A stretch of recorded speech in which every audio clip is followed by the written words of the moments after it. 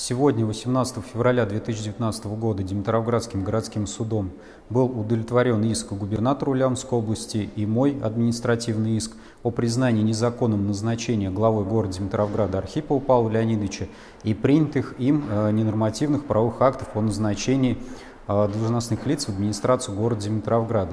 Считаю, что суд сегодня всесторонне и объективно подошел к исследованию материалов дела и вынес э, законное и обоснованное решение. В то же время настораживает тот факт, то, что за последние несколько месяцев это уже второе решение городской думы, которое Димитровградский городской суд признает незаконным. Это говорит о том, что городская дума системно уже принимает решения, которые являются незаконными. Я надеюсь, что данная конфликтная ситуация исчерпана, и в будущем городская дума города Димитровграда не будет принимать незаконных решений.